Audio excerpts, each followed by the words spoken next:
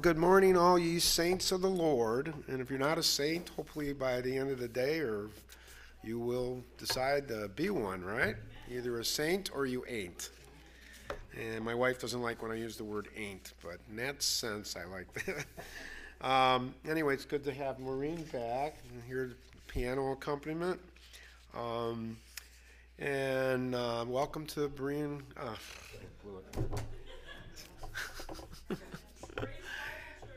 What's the name again? I know. I, yeah, I need to have a mirror. And,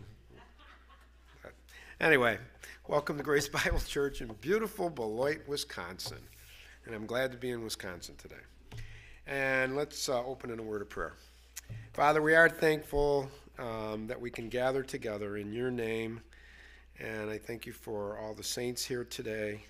And we pray that people watching online, if someone's not sure that they have put their trust totally in the finished work of the Lord Jesus Christ, paying for their sins on the cross of Calvary, that they would do that today and not wait another moment.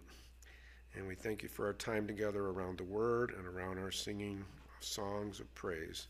In Christ's name, amen.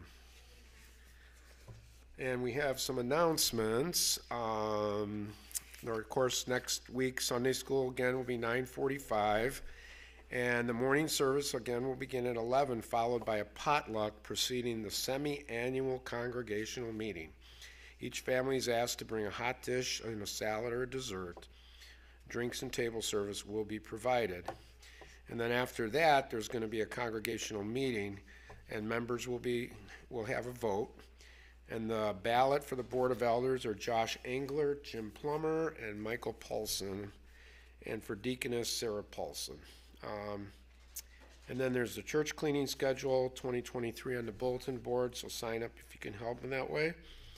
Um, and I guess that's it. Anybody else have an announcement? Michelle, did I cover everything? I always. She's my backup there. Yes. Yeah, Whitney came home on Wednesday night. Yeah, I saw that in Lita's little um, little email. That was awesome. We're, what a wonderful testimony. How how how how, big was she when she was born again? Three pounds, two ounces. Three pounds, two ounces. Six pounds, fifteen ounces. Wow. Today, she's two months. Whew. Praise the Lord. That's exciting. That's really exciting. Thanks for sharing that. Um, okay, well, let's uh, open up with our first hymn here.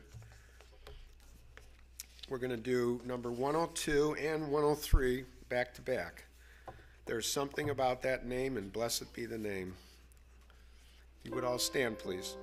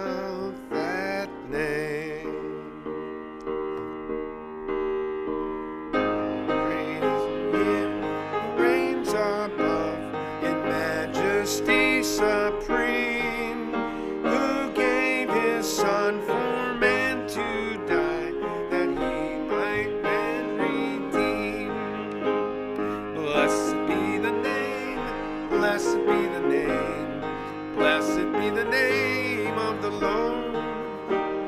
Blessed be the name, blessed be the name, blessed be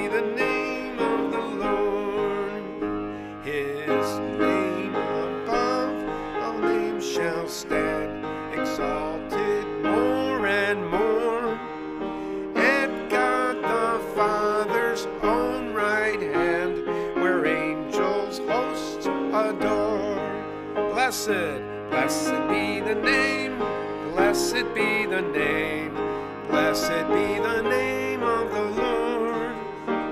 Blessed be the name, blessed be the name, blessed be the name of the Lord. Verse 3 the last. His name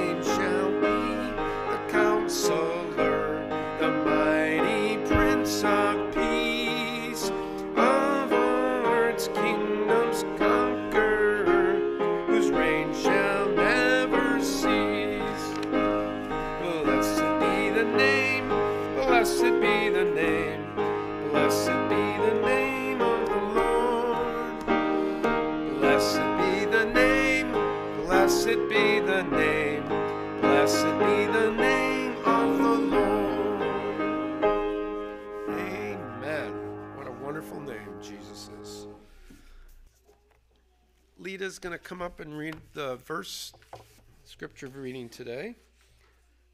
Ephesians 3, verses 1 through 9. Thanks, Lita.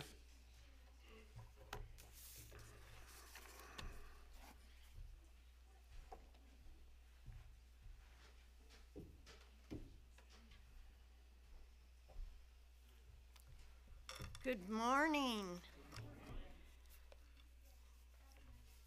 The scripture reading is from Ephesians 3 9, 3 9, 1 through 9.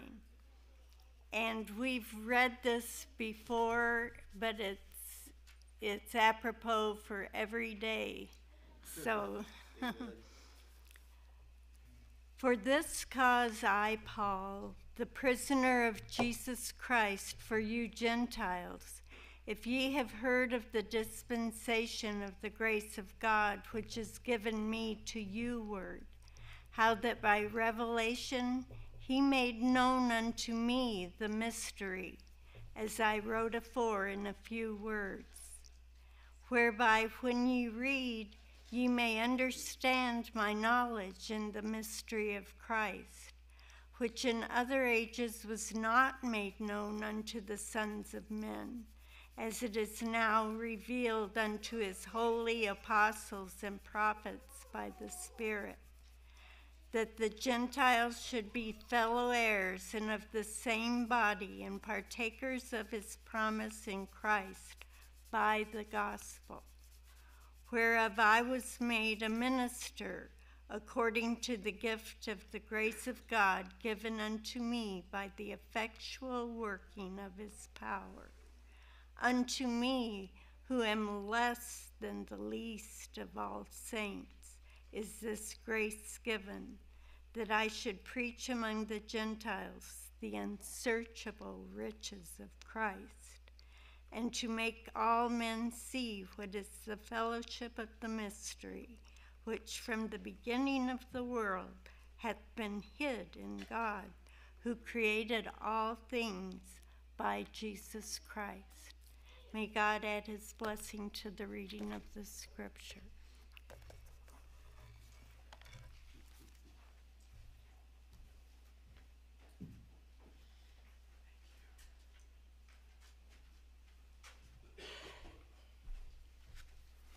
Thank you, Lita. All right, for our prayers today, do we have any praises? We obviously have Whitney's praise for today. Any other praises we'd like to share? I know I have a oh, Lita.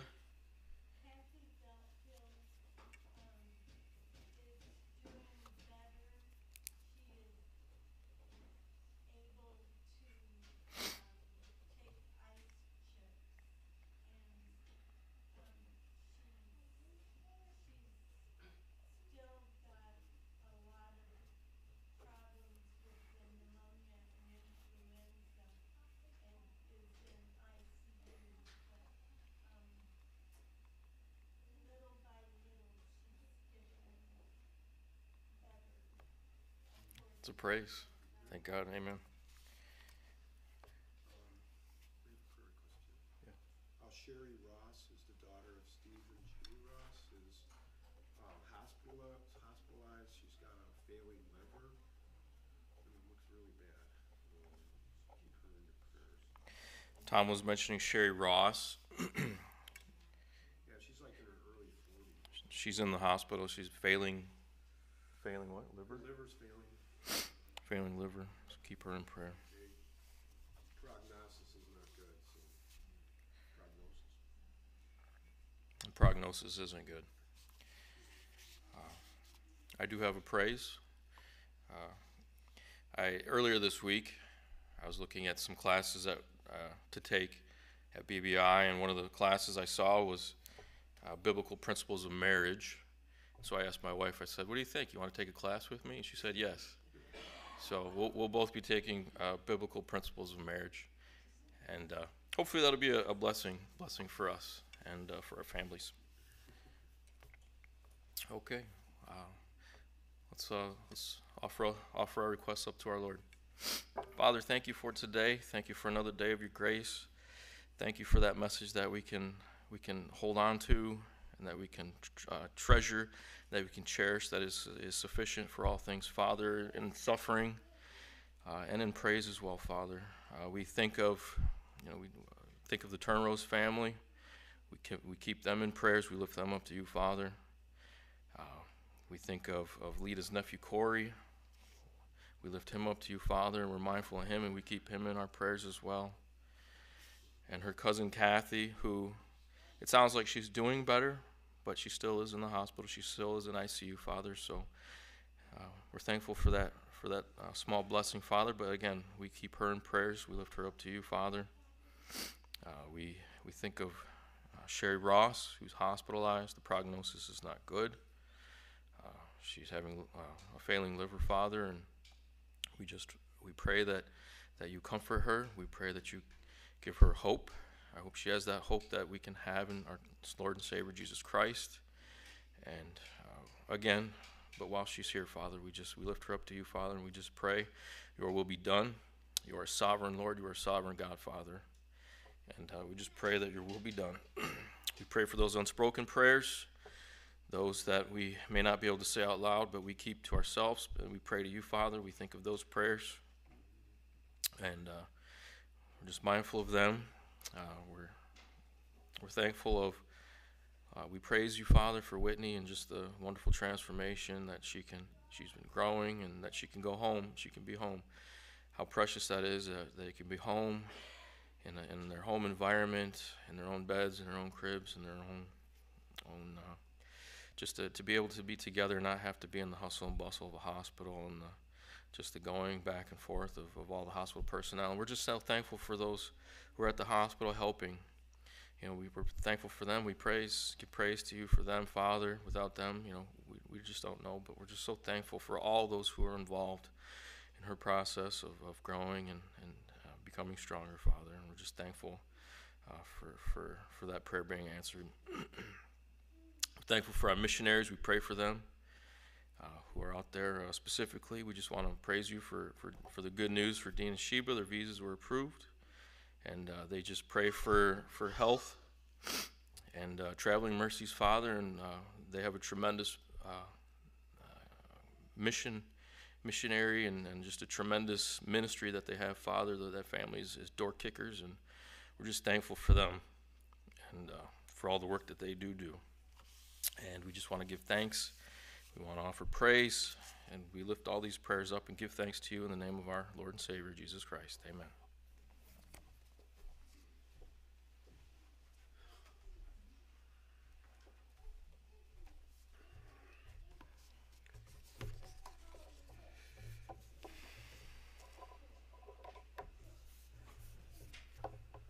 Amen. Um, we're going to do number 175 in our hymnals. Hallelujah, what a Savior. We're going to do all five verses too. Can all stand, please? Number 175.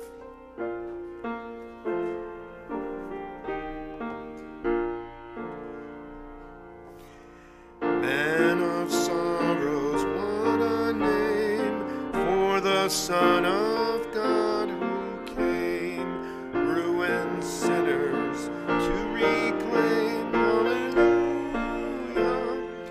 what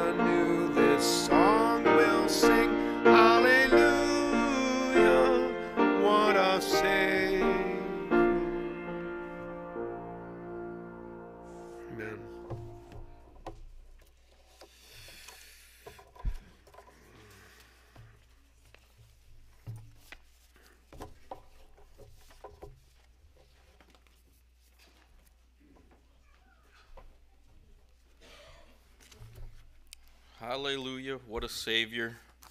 Amen. Just so happens that that's what we'll be talking about today our Savior, Jesus Christ, and what it means to know Him, or how we can know Him.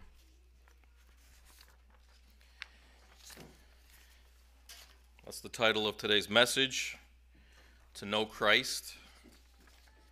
After Paul got done reminding the Corinthians in chapter 1 of 1 Corinthians of, of how they are saints and how they are in Christ. In chapter 2, he goes on to say in 1 Corinthians 2, verse 2 For I determined not to know anything among you save Jesus Christ and Him crucified. He wanted these Corinthian believers and this body of believers to, you know, as they learned what liberty was and what grace was and how they should live it in their lives, that they should, you know, first of all, know Jesus Christ and Him crucified. Now, you guys all know I, I, I, I will uh, always say this that words matter. Uh, so let's look at what the word know means. Let's look at what the definition of know is it's to understand clearly, to be informed of, to be taught to have a clear and certain perception of truth or fact. That is what it means to know. Let's uh, contrast that with Romans 10:2. Paul speaking to his brothers, his his brothers uh, in Israel. For I bear them record that they have a zeal of God, but not according to knowledge.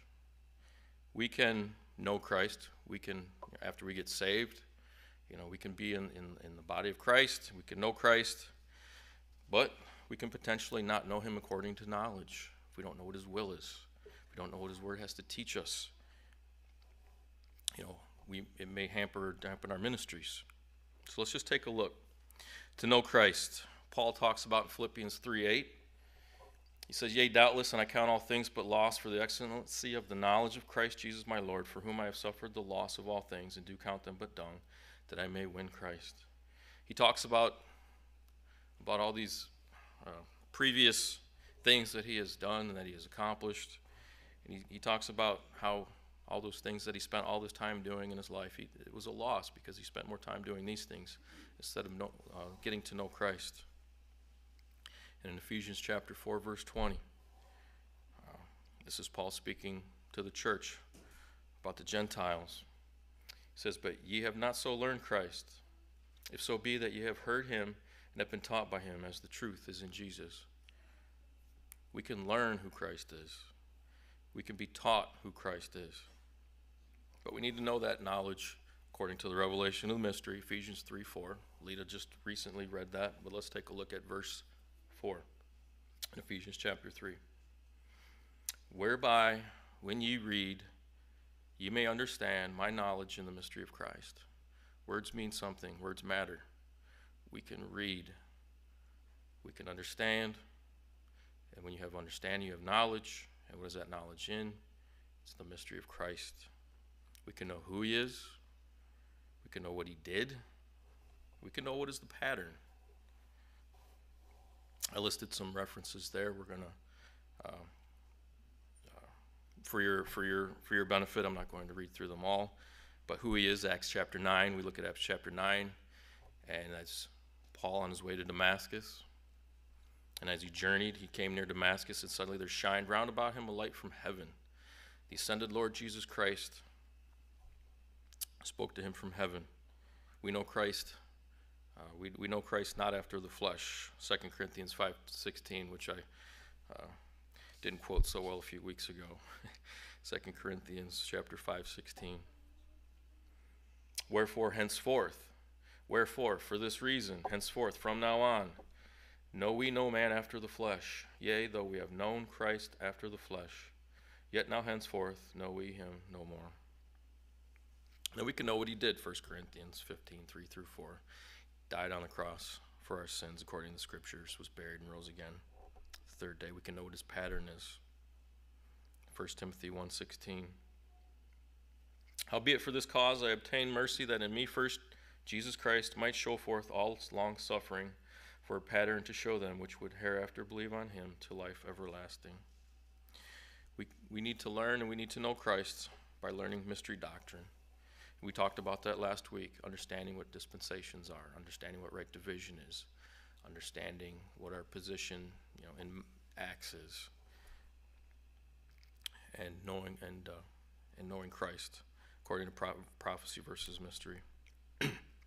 So, with all that being said, how do we know Christ? Well, the first thing we need to, to do, and it's the beginning of the year, so I always like to like to talk about these these types of topics, is to know your know your motivation. I'm reading a book right now. It's called The Resolution for Men, and it's making me understand, and it's helping to me re- helping me realize that in my life, you know, and probably the majority of all of our lives, that we spend a lot of time on temporal things, and and if you, if you ask me to define what vain is, I, I would define vanity or, or being doing something in vain as something that has no eternal value. And part of that has to do with is, is what's a matter of our priorities? Is our priorities focused mainly on things that have no earthly, uh, uh, things of earthly value or things that have spiritual value? In Matthew chapter 6, Matthew chapter 6 and verse 19 his Sermon on the Mount. It says, Lay not up for yourselves treasures upon earth, where moth and rust doth corrupt, and where thieves break through and steal. But lay up for yourselves treasure in heaven, where neither moth nor rust doth corrupt, where thieves do not break through nor steal. For where your treasure is, there will your heart be also. You know, where are our priorities? Yes, we have earthly vocations. We all have jobs. We all have families. We all have children, most of us. We all have responsibilities. We have bills to pay. And we have responsibilities to our families, to our spouses, to our jobs. And we need things. We need physical things. We need all of those things. But where are our priorities? Where do our priorities lie? Are they on things of earthly value or things that have eternal spiritual value? So, knowing our motivation, where our hearts? I, I, I don't have time for that. Well, stop. You know, where's your heart lying right now when you when you say that? And and going through this book and reading it, it's it's a slow and arduous process, uh, but I highly recommend it for any man out there who is uh, has a family, has a wife, and is a husband uh, to read that. It's written by the, uh, the those two brothers, the Kendrick the Kendricks brothers, uh, that have the movies out. Courageous. Um, if you guys have heard of that movie, it's a really good book. But part of part of that motivation is as, as we've made it clear, made a conscious decision to, to want to, to know more about Christ and who He is, and, and part of that part of that process is, is as we read our Bibles, as we study our Bibles, to have just have Bible belief. You know, believe the words on the page. Come come at it with a with a with a mindset that there's something in this book that needs to be taught to me, and it's not my job to to, to try to, to uh, teach it so to speak. And having Bible literacy, part of um, you know, Christianity today is, is extremely Bible illiterate. They do not read the Word, they do not study the Word, they don't meditate upon the Word. I can talk about uh, some numbers and percentages. Uh, but I think we all understand that, that the, the literacy of our Bible is, is at an all time low. And, and how can we speak to other people? How can we minister to other people if they have questions if we're not literate in God's Word? Part of that motivation is that we know and understand that we need to learn it. Let's look at for 1 Corinthians chapter 2 and verse 5. That your faith should not stand in the wisdom of men, but in the power of God. Where's the power of God found? In His Word, the gospel, not in the wisdom of men. We can learn it, we can use it, and we can teach it. Let's go to 2 Timothy 2 2. And the things that thou hast heard of me among many witnesses, the same commit thou to faithful men who shall be able to teach others also. Now, this verse is found in uh, 2 Timothy, one of the pastoral epistles. But I would like to say that I think this is absolutely applicable to anybody that is outside of being a pastor. Let me, let me pose a question. Let me have us think for a moment. We look at this mess outside of these walls in this world today, and you know some of the things that you might hear, you might say, or you might th- think is that you know why are we here? Why are we at where we're at today? It's because they they they quit teaching God. They took God out of the schools, right? That could be a potential problem. Let's follow that logical train of thought. And I would propose that not only did they stop teaching God in schools, but we've stopped teaching God in our families. Men, how do you know how to be a man according to God's word? It's in His word. How do you learn that? You have to read it, you have to study it, and you have to apply it in your lives. Men, how do you know how to be a husband from God's word? How do you know how to love your wife? How do you know how to protect your wife? How do you know how to care for your wife? How do you know how to nurture your wife? How do you know how that relationship works from God's word? How do you learn that? You have to read it. You have to understand it. You have to apply it. The same goes for uh, uh, women. You know, how do you know how to be a wife? What does God's word have to teach us about being a wife? We learn it, we use it, we apply it, we teach it, and most importantly of all, for our children. And I say this in Bible studies, and you'll occasionally hear me up here say this. But you can read God's word, you can understand it, you can teach it, because if you can't, how are you going to teach your kids? Are you going to let Sunday school teach your kids? Is it the Sunday school's responsibility to teach your kids? Is it the school's responsibility to teach your children about God and how to respond and how to act and how to be obedient? No. It's the parents, it's the fathers, and it's the mothers. You have to be able to read God's word, you have to be able to understand it, you have to know it, you be able to you have to be able to teach it. So you can teach God's word. We can't all teach it. We could obviously we teach it on different levels, but the ministry starts with yourself. It flows out to your spouse, and then it goes to your kids. Learn it, use it, teach it. Know your motivation.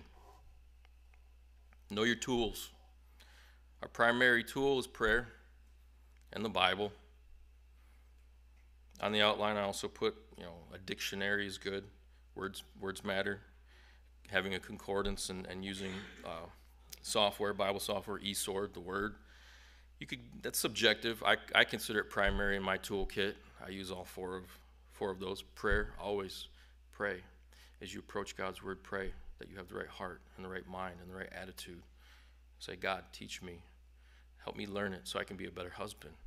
Father, teach me so I can be a better husband to my wife, father to my children, uh, minister to those who need to be ministered to.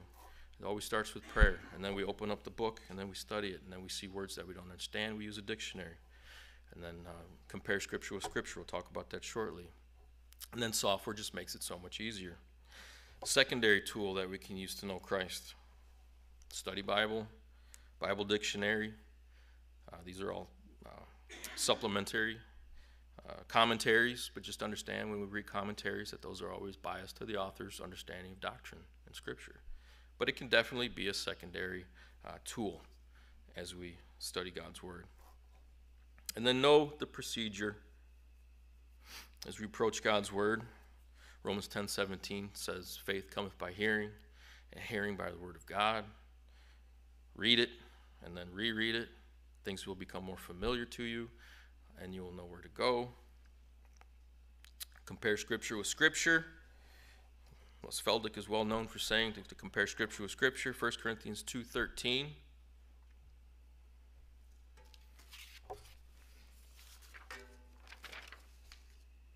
says, Which things also we speak, not in the words of which man's wisdom teacheth, but which the Holy Ghost teacheth, comparing spiritual things with spiritual. Compare Scripture with Scripture. And then determine the context as we open our books and we study. You know, that's where right division comes into play, understanding prophecy and mystery, 2 Timothy 2.15. And know the purpose of knowing Christ. You know, know your motivation, know your tools, know the procedures, and know the purpose. 2 Timothy 3:16. All scripture is profitable, or I'm sorry, all scripture is given by inspiration of God and is profitable for doctrine, for reproof, for correction, for instructions in righteousness. This is our curriculum, so to speak, I would call it. All scriptures, all scripture is profitable. We can find in doctrine Romans, Paul's epistles, Ephesians, Thessalonians. Romans is our foundation.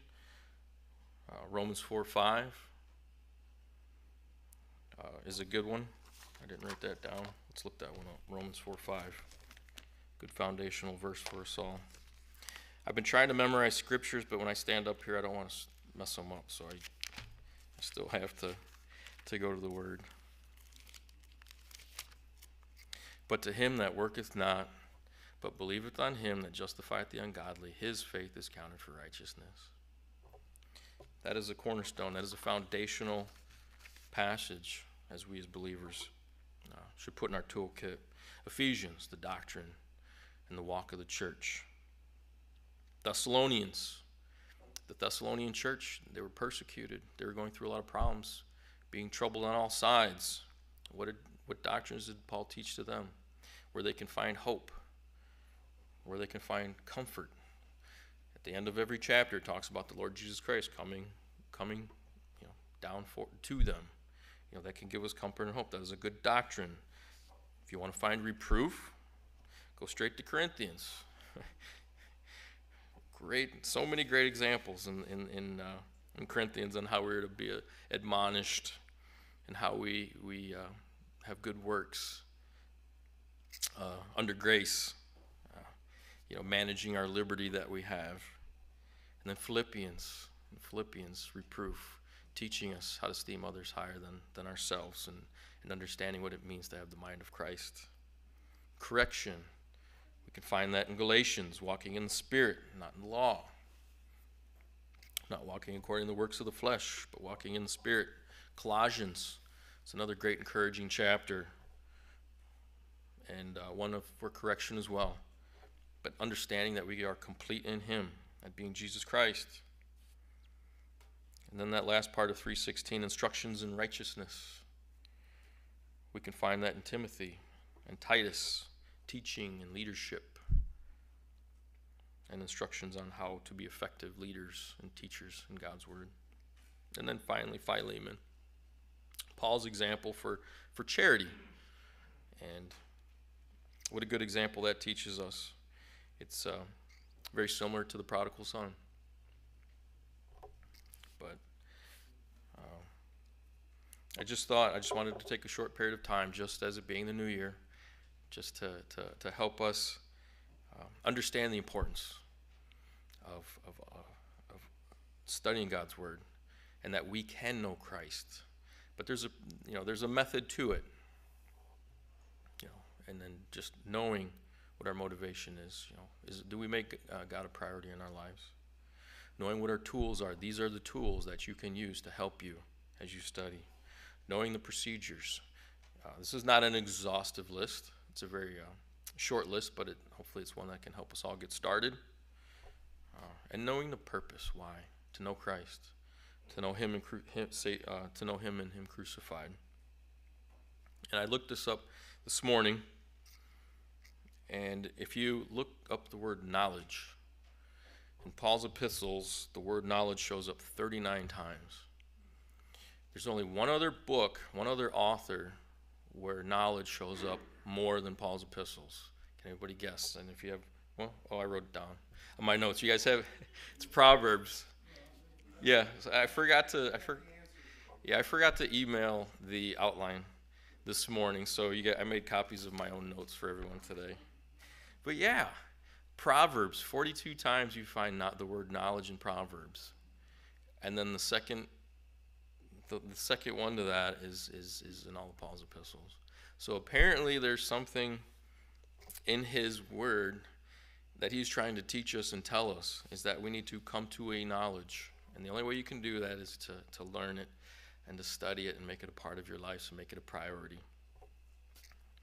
So we'll just close in 2 Timothy 2.15.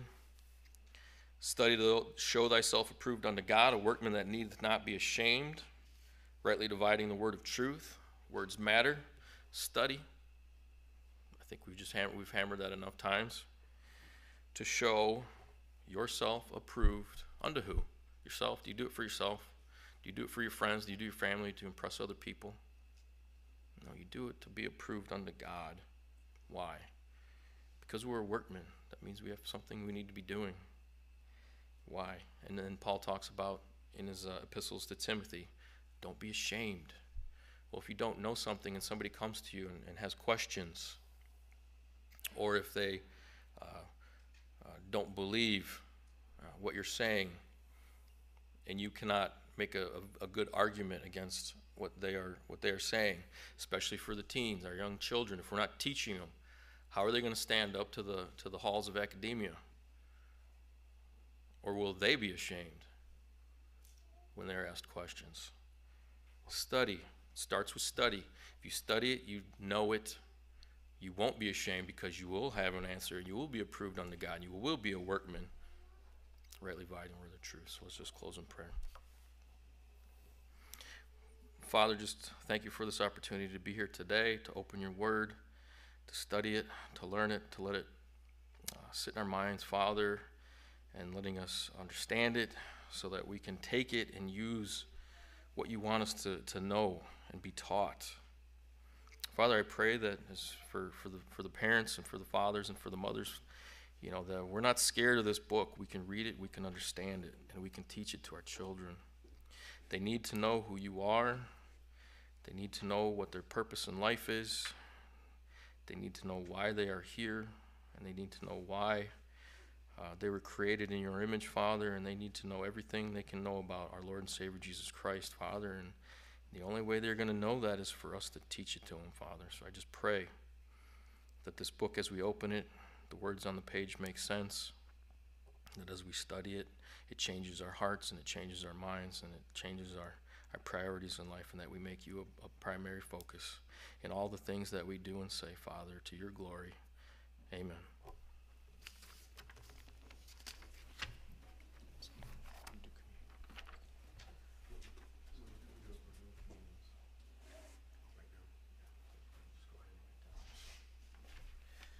All right, today we didn't do communion last week. We do communion the first every other month. We do uh, communion. We weren't able to do it because we didn't have Maureen with the piano. We we thought about trying to do it with YouTube videos, but that just we just nixed that. So we're going to go ahead and do communion this week. So if the men uh, would like to come forward.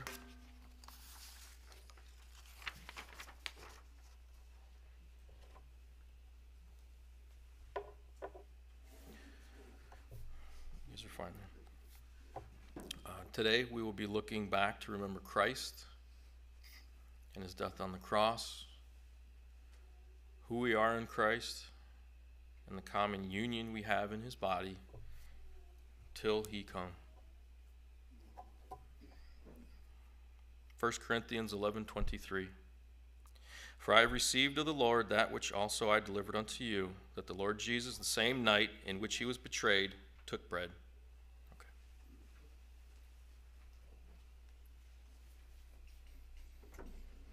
you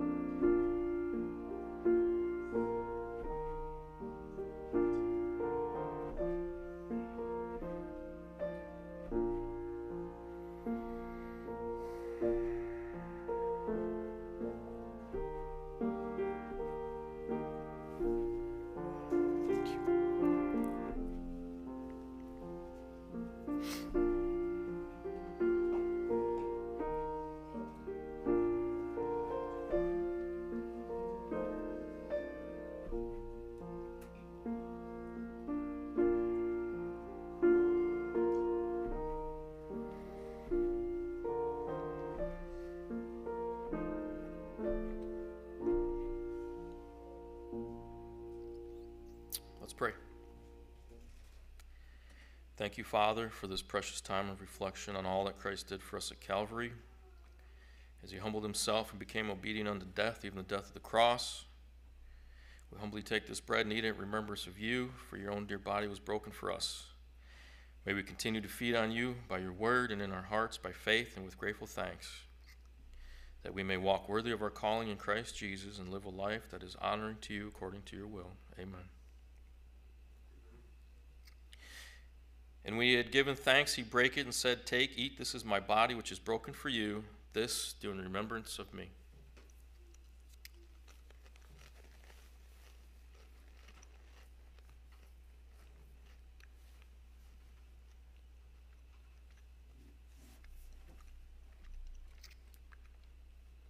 After the same manner also he took the cup.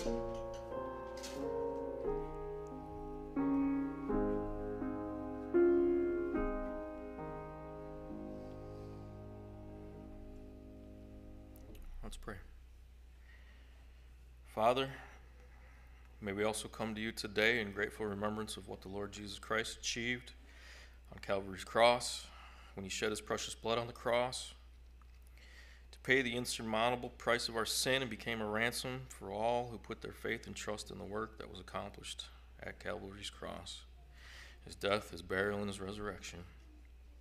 We share this cup of blessing, remembering how he himself took the cup in the upper room the hour of his crucifixion drew near and said, This is my blood which he shed for many. But now we know now for all, as your progressive word teaches us. Do this as often as you drink it in remembrance of me. Amen. When he had supped, saying, This cup is the New Testament in my blood, this do ye as oft as ye drink it in remembrance of me.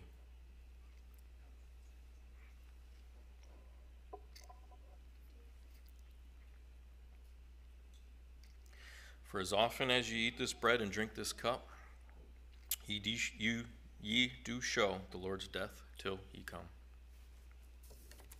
Amen.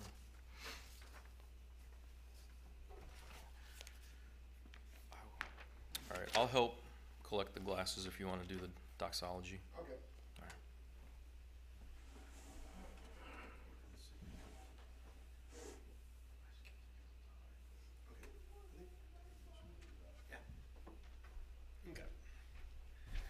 All right, we're going to do the hymn number 195. I think it's pretty appropriate. Nothing but the blood. I know sometimes we forget how precious the blood of the Lord Jesus Christ was. His, blood was pure. It was deity. You know, God's blood, and um, that was the only thing that could work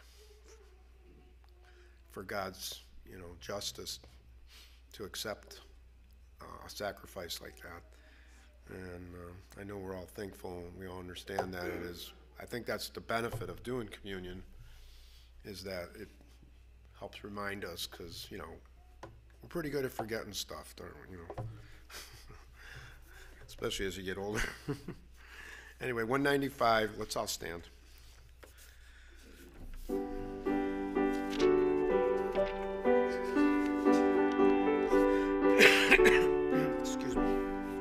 four verses. What can wash away my sin? Nothing.